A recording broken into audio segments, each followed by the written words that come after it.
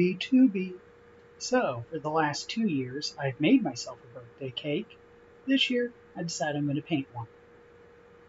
So, I actually, this is completely different than how I planned on it.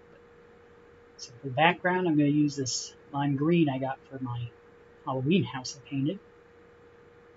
As you can see, I went with a square rectangle. I guess it's a rectangle, not a square. Like styled slice.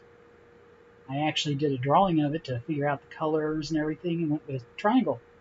I tried it and could not get it to look right.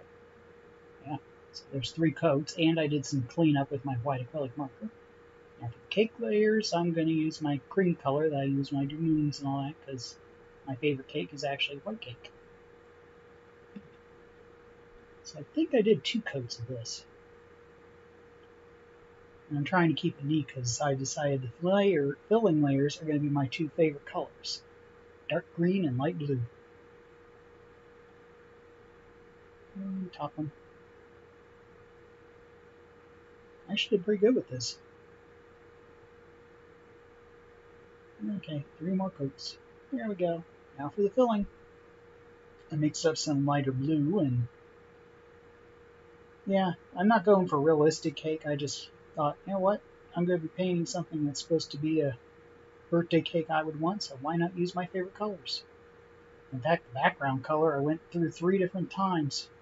I could not decide what colors I wanted on that background. Up now just a dark green. I actually should have done more coats of this. It was really streaky and see-through. Kind of slimy, actually. Okay, two more coats. There we go. I decided for the frosting I wanted to have a 3D look, so I'm going to use fabric paint. Mm. Nice thing is, it covered everything. I didn't have to worry about getting all that, and I can use the tip to get the texture I wanted. I should have used the silver paint on the candle, but I didn't. Okay. Now I let that dry, cleaned up, and had to do another coat of fabric paint because I ran my finger through it and still.